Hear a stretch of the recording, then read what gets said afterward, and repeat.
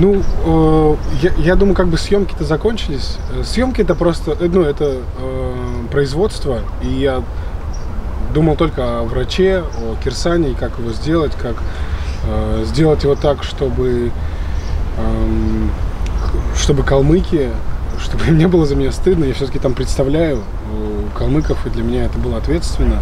А что касаемо моего мировоззрения, оно до сих пор меняется, потому что даже тот повод, э, по которому я прилетел сюда, это как бы продолжение истории всей этой.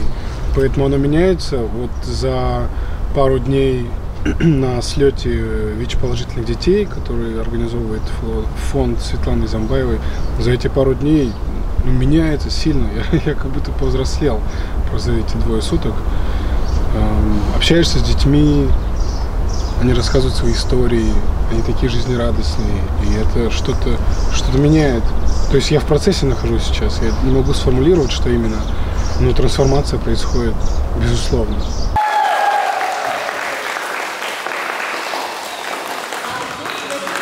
Давайте как в футболе, э, кубок.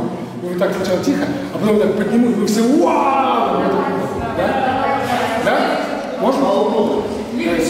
Давай. Вы готовы все? Кто хочет встать, там, поднять? Ну что, как будто кубок, как будто мы что-то Пойдем. Раз, два, три.